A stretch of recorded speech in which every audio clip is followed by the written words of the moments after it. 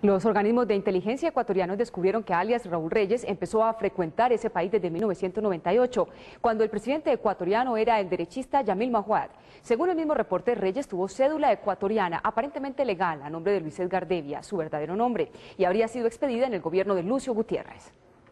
Este documento de la policía ecuatoriana revela que Raúl Reyes y su familia se convirtieron en ciudadanos de ese país, vivieron en Quito y desde esa ciudad viajaron por toda América Latina con sus nombres verdaderos, pero con pasaportes de Ecuador. Luis Edgar Devia ingresa al Ecuador el primero de febrero de 1998 y logra identificación ecuatoriana con la cédula número 1714.933.551.